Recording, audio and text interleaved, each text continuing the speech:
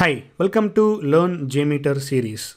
In this episode, we are going to learn about HTTP Cache Manager in JMeter. Before we dive into JMeter, let us see a quick demo in your favorite browser.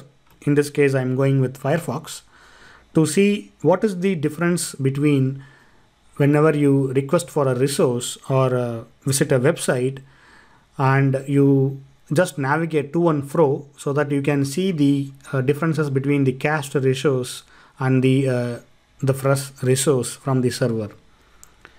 Just uh, open any of your browser and uh, launch the dev tools and go to uh, any website. In this case, I'm going with uh, demo.perftractor.xyz, which is my uh, sample application.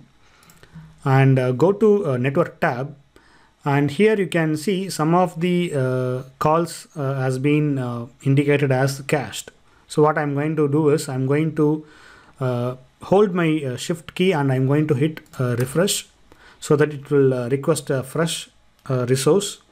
So now you don't see the cached tag anymore in my in the network tracing. So now what i'm going to do is i'm going to click on say mice and trackballs here so whenever you navigate, you can see uh, it is fetching the cached resource. Basically, the resources, uh, the JavaScript or CSS, it's been uh, stored locally in your browser. And then uh, instead of getting it from the server, it is uh, taking it from your local uh, resource. So basically, the get calls usually it will be cached, and post calls it will not be cached. But these behavior can be Uh, changed or modified based on the cache uh, headers or HTTP headers. So right now if we go to uh, click on uh, uh, back button, so again you can see it is taking from the cache. But this resource, the main example, sorry, main domain, it is not coming from the cache, it is coming from the server. So if you go to the header tags, right? So there are multiple tags which influence the caching behavior. Uh, one is the frequently is uh, the cache control and the e tag and if none modified. So these are uh, the commonly used tags which will uh, change the behavior. For example, the expires, uh, last modified, and e tag. So these are the uh, commonly used header information which will influence the caching behavior. So HTTP uh, header information you can learn in Wikipedia. And also similarly, if you go to uh, Mozilla website, uh, you can learn more about the uh, caching header information. So I can put those links in the uh, description. You can check it out. Uh, as you know, JMeter is not a browser. It is trying to emulate like a browser, but it is not actually simulate a browser behavior. But you can control the uh, caching aspect uh, in JMeter using the cache uh, manager. Okay, now let us see how to leverage the cache manager in JMeter so that you can identify the differences between the uh, caching enabled and caching turned off in your response time. Let us add a quick uh, thread group here and inside the thread group I'm going to add a sampler HTTP request and also I am going to uh, add a cache manager for my HTTP request under the config element HTTP cache manager. And in the uh, HTTP request, I am going to enter the server name as demo.perftractor.xyz and the protocol is HTTPS. And in the advanced tab, I am going to retrieve all the embedded resources and also I am going to add a listener uh, view results tree and I'm going to add another listener uh, summary report. So now let us disable the cache manager for this run and let us execute the uh, thread group uh, say for example uh, 10 uh, loops. So now I'm going to hit run and in the summary report you can see the average response time in milliseconds and let us go back to view results tree. And here you can see it is fetching the resources. For all the uh, iteration it is fetching the resources uh, based on the uh, server behavior. So it is fetching around 29 uh, resources for this request.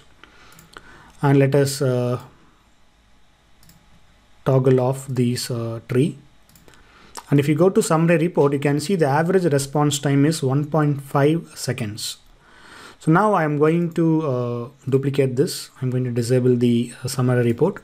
And I'm going to turn on the caching uh, manager. So now what will happen is it will uh, cache the request. So the maximum number of elements you can cache by default is 5000 and if you are going to uh, use more than this you can customize but make sure you are changing the heap memory of uh, JMeter and this cache manager has a, a configuration where you can uh, clear the cache for each iteration or you can use the thread group configuration to control the cache clearing or you can uh, check this uh, cache control header when processing the get requests so now uh, let us uh, go with the default behavior of the cache manager. Now uh, let us uh, execute this. So now what will happen is you can see the differences in the response time. So now the average response time is dropped down to 426 milliseconds from 1.5 seconds because JMeter is leveraging the caching resources instead of fetching it from the server. So now if you go to your view results tree and see the last 10 requests, you don't see the requests anymore. Only for the first requests, you can see the uh, resources like uh, JS or PNG file. But for the subsequent request, it is not fetching the uh, request from the server. So it is leveraging the caching so that instead of fetching it from the server, it is making use of the local caching mechanism. That is why the average response time has dropped from 1.5 seconds to 400 milliseconds. So uh, this will also uh, leverage the uh, response uh, code as well. So sometimes if you have enabled the caching, the response code might have uh, 304, uh, 200, something like that. So you have to make sure you are making use of the assertion for the response code. So if you are using the cache manager, you have to make sure the assertion has been set right or not.